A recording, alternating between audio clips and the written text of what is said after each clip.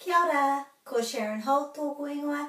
Today I'm introducing an easy sentence which is a question and it's a good one to try to add to your daily kōrero in the family or perhaps um, in, in a classroom if you're a teacher. He aha, which you probably know by now means what. He aha tō your. He aha tō pirangi pirangi. So remember the pronunciation breaks at every vowel. Pirangi, and that means um, what's your, what is the thing that you want or need or desire. He aha tō pirangi. He aha tō pirangi. What do you want? What do you want? So you could do it as a game practicing with something like different colour pens.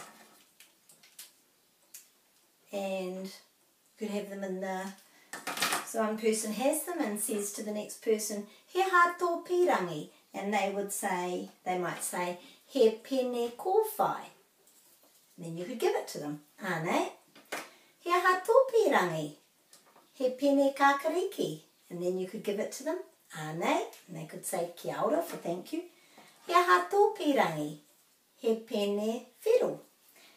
So that's um, an easy way, following up with perhaps if you've already done coloured pens before, or you could do it with um, in the family with the, you've got a fruit bowl and you're asking the children perhaps which thing they would like.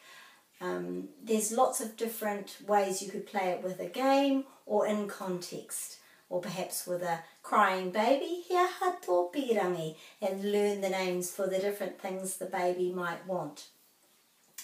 So that's an idea. Hopefully that will be of use to you. More to come soon. Ka kite.